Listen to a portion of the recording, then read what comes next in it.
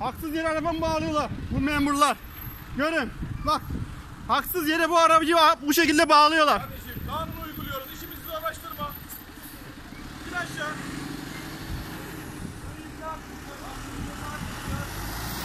Ben de sana dedim ki görün haksız yere bağlıyorlar aracım bakın.